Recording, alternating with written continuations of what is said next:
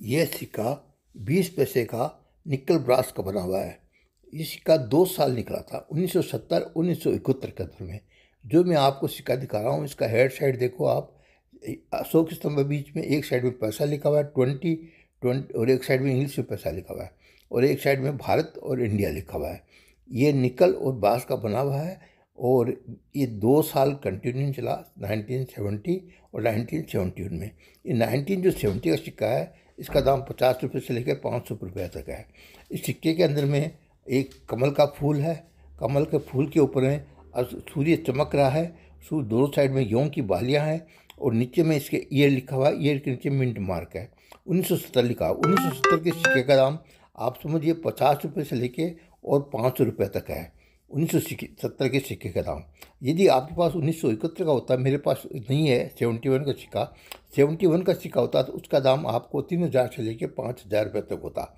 बीस पैसे का सिक्का है, लेकिन सत्तर इकहत्तर दो साल में कितना फ़र्क पड़ गया सेवेंटी वन में होता, तीन हज़ार से पाँच हज़ार रुपये आज इसकी कीमत होती। है ये आपको देखिए, इसमें सत्तर लिखा हुआ है, और जो मैं अब आपको सिक्का इकहत्तर का मेरे पास भी नहीं है, इसलिए मैं आपको दिखा नहीं सकता। तो आप इस सिक्का को देखिए और आपके पास अपने ज़रूर देखिए। आपके पास ज़रूर आपके पास आपको सिक्का मिलेगा। कहीं अगर इकहत्तर का सिक्का मिल जाए तो आपकी लॉटरी खुल गई तीन हज़ार से पाँच हज़ार रुपये आपको बीस पैसे के सिक्के मिल जाएँगे।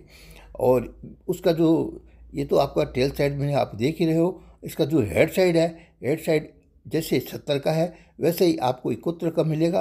अशोक स्तंभ बीच में, एक साइड में भारत और इंडिया लिखा हुआ है और नीचे में बीस पैसा लिखा हुआ है और ये आपका ये है।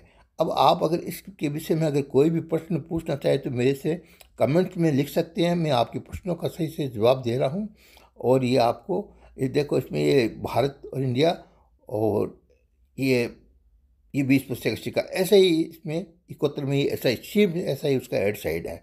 मैं आपके प्रश्नों का उत्तर दूँगा। आप प्रश्न पूछिए मेरे से। जो भी प्रश्न पूछेंगे मैं आज बराबर आपको जवाब, उसका जवाब दे रहा हूँ।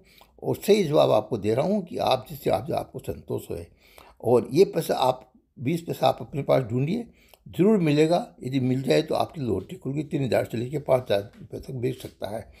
और ये बेचने की चीज़ नहीं है, रखने की चीज़ है। मेरे पास भी मेरे कलेक्शन में पड़ा था, इसलिए मैं आपको दिखा रहा हूँ।